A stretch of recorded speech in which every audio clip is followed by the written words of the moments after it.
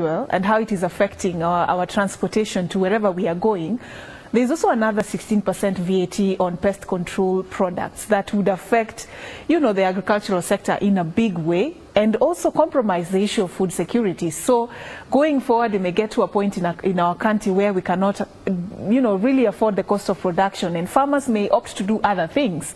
So we may even lack food, Ram, going forward. So as we, we talk about food. transport being expensive, food is going to be very expensive. So life in Kenya is just getting interesting. But that ushers me into the conversation we are about to have this morning. Women at the Forefront begins uh, right now. This morning I'm hosting um, Evelyn Lusenaka, she's the CEO of Agrochemicals Association of Kenya. This morning she's here to talk to us about not only her career path and how she has achieved what she has achieved today, but also her concerns in what she's doing uh, right and now. So right about now, thank you so much, uh, Evelyn, for joining us. Thank you very much. Yes, and Yeah. a lot has been said and done, you know, concerning VAT. Yeah. We'll be talking about uh, that shortly, but very quickly, tell us how Evelyn describes herself.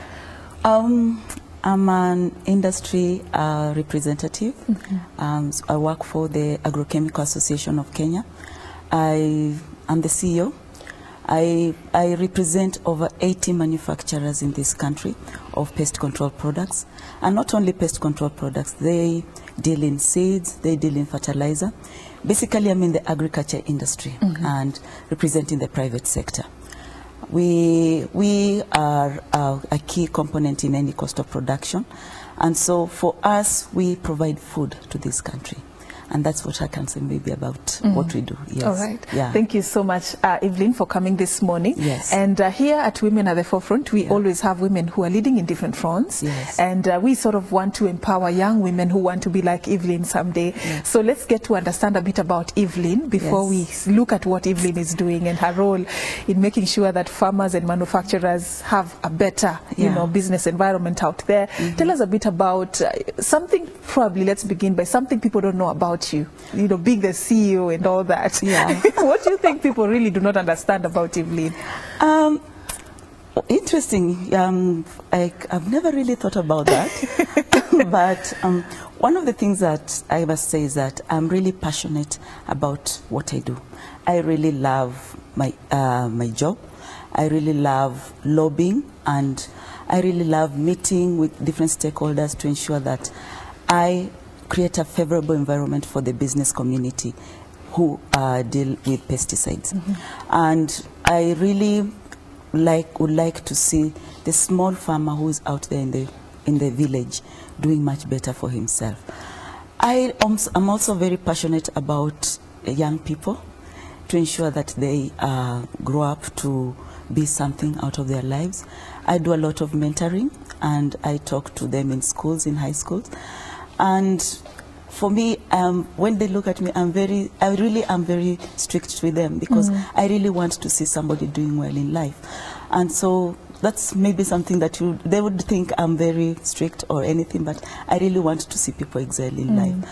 And so, especially the young people. And so I really want to push them up and work together with them to be, to do something out of their lives, yes. All right, so you're not strict. People think you are. People think I am, but I'm not. yes. Okay, so mm-hmm. um, being in the agrochemicals industry, this okay, you know, in in our country there there are industries that have been sort of termed masculine, others mm-hmm. are feminine. Mm-hmm. Others are safe for women, others are not.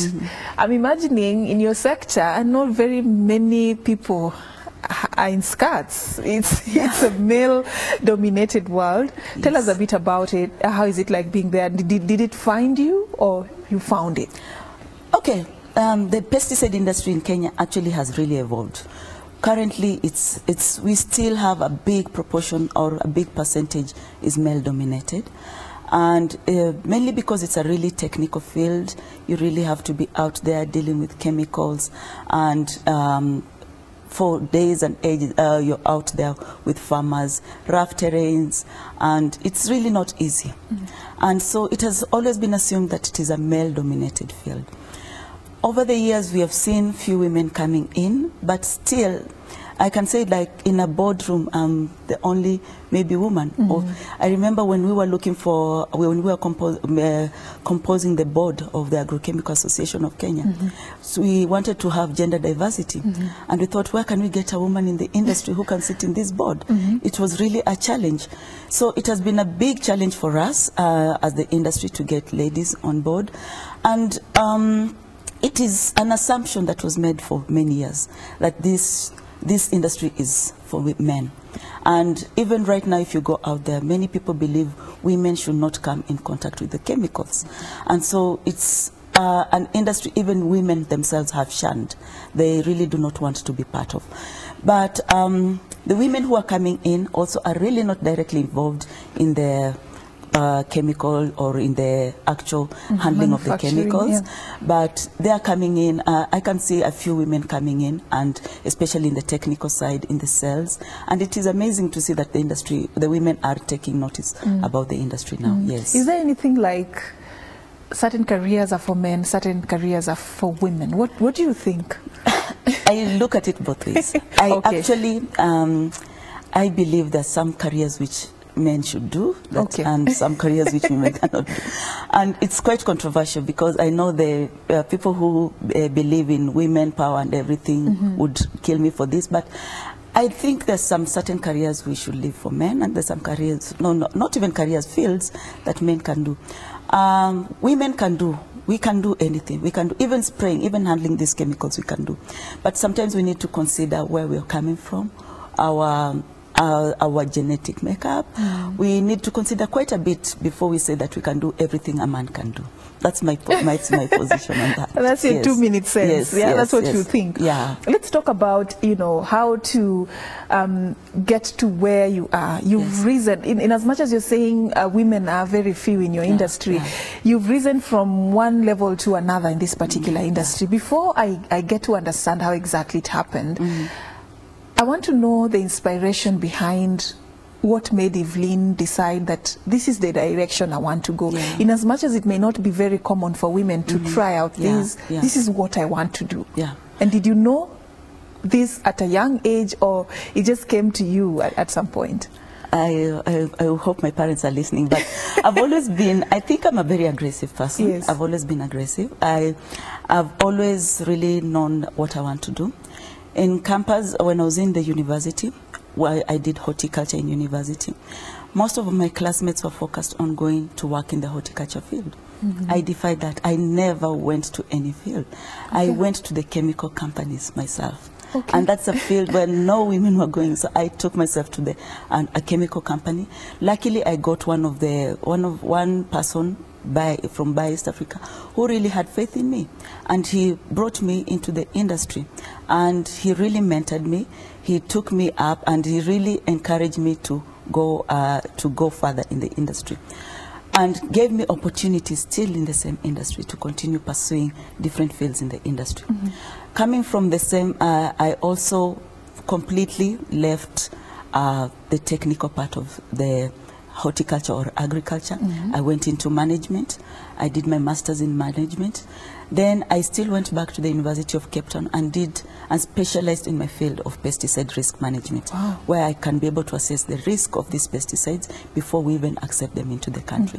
So I, I can say I've, I've taken myself, I've tried to accommodate different areas um, in my field and also in management so that I can work in any field, but at the same time, uh, I have a specialty which is in pesticides. Okay. Yes. So where did you get this information from before you started, you know, your career path? Did mm-hmm. somebody inspire you?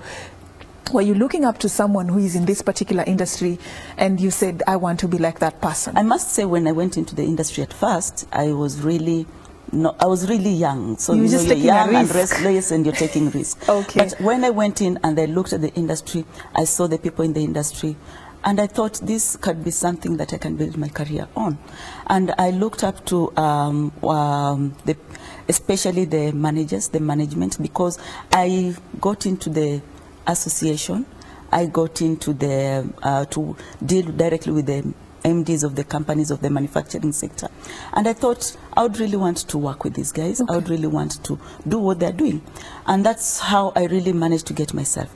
I really cannot say there's one person who really inspired me, but I, my former boss uh, really, really also encouraged me and really put, took me to where I am actually.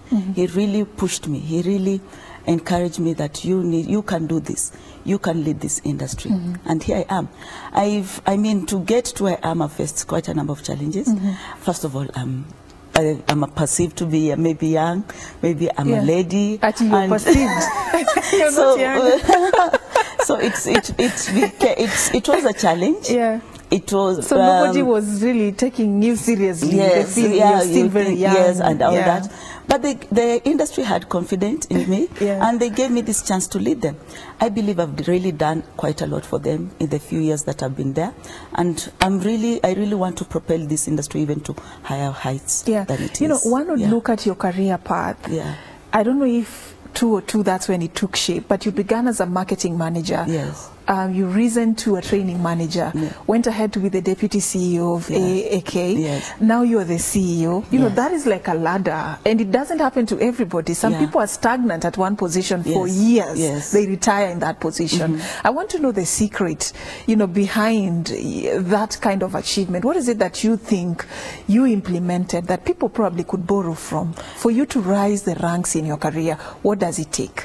I persisted. I am very quite persistent. I I never gave up. I've never given up on what I want to be. Mm-hmm. And when I look at um, the industry and where I've come from, mm-hmm. there are er, there are some instances in some companies it has not been easy. But you persist, and if you feel that this is really not working for you, you need to divert and look for what works for you. I I've worked with the industry for over 15 years now. Wow. And um, I believe I've made my mark. I uh, I grew the we had a, we have a stewardship portfolio in the agrochemical association of Kenya. I've really managed to grow it to have to make it the biggest in African Middle East because we fall under bigger umbrella organization under Af- Africa Middle East. So it's what you do that gets you noticed.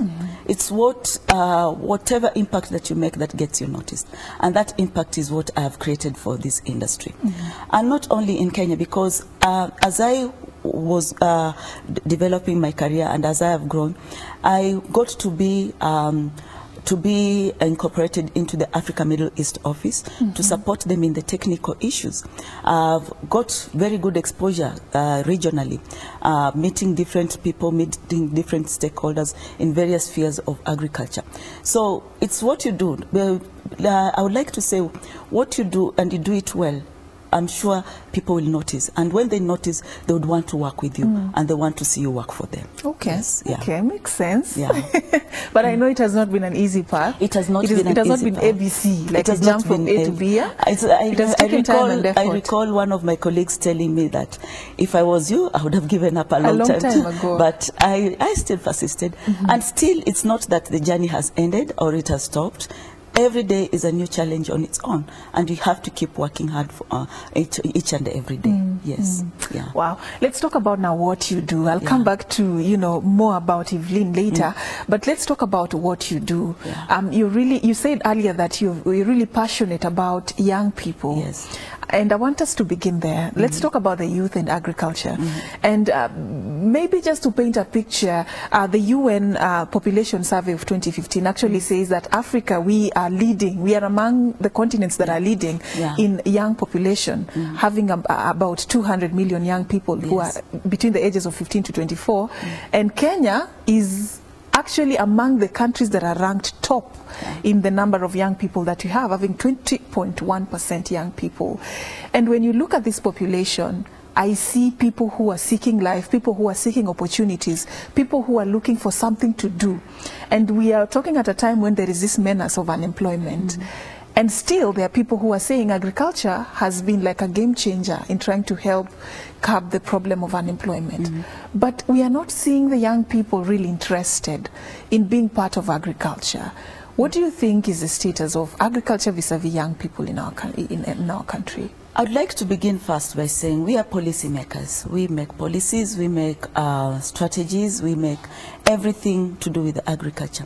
But we have really ignored the part, the, uh, the part of making agriculture attractive to the youth. Yes. Uh, agriculture is a source of livelihood for many people. And uh, I'm sure when we look at many population in Kenya, they have grown up because their parents were involved in agriculture. Their father had to sell maize, their father had to sell a cow here, and everything to get them